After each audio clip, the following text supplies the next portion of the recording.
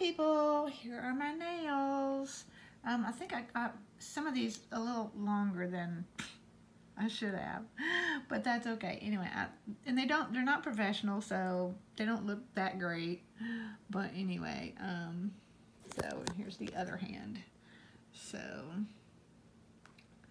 some of them look pretty good, some of them kind of look like blah.